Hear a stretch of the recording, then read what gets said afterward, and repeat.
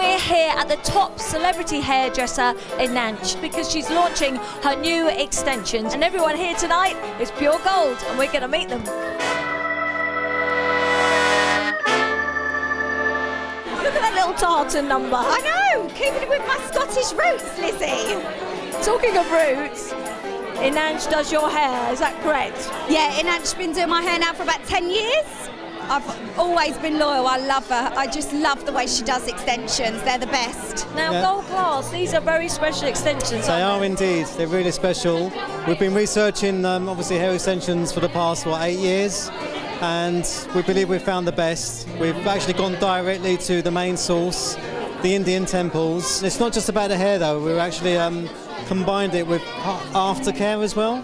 Yeah, they're amazing, aren't they? I they? know, Yeah. it's so Yeah. good. They are amazing. Yeah. Pia Mishi and Inanch, we've got I it all on. look at it. no, obviously, gold class. It looks fantastic. Thank you very much. Well, I couldn't live without my extensions. I always have, always have them on the show. Honestly, it's a part of me. They're so natural and they feel so nice. Well, you look stunning, and you're the Thank face you. of this, so it's Thank amazing. you.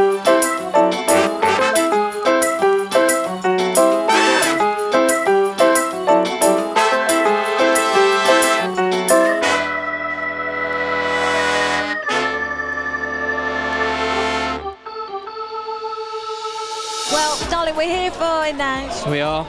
Amazing lady. The lovely Inanch. Lisa, tell us, you made the cakes for this evening's event. Now, what goes into making this amazing, very Oscar style cake?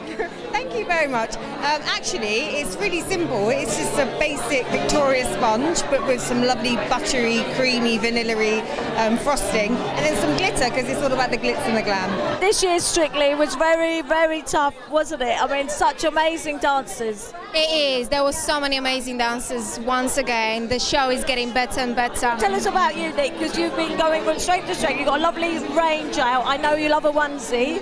I've got my onesies out, and I've also been doing a lot of parenting things, which has been nice because people never seem to take the blonde with the big boobs seriously as a mum. But I've been I doing a lot of parenting debates, so that's been really good. The reunion show, have you been watching? You know what? In all honesty, um, I caught it last night on a rerun. Steps, I mean, because Steps, you, you are still kind of together. You haven't Yeah, split, no, have not officially split. We sort of we did our own reunion, obviously. Um, went really, really well. Um, we did that for two years.